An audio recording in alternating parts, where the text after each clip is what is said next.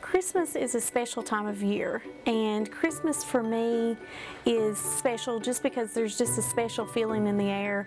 Uh, it just seems that families get together, they give gifts, there's just a, a special kind of love that's in the air. And I guess the most important thing about Christmas to me is that it is a celebration of the birth of our Savior Jesus Christ. And without that, there would be no Christmas. So really that's what Christmas is to me, is the celebration of the birth of Jesus Christ.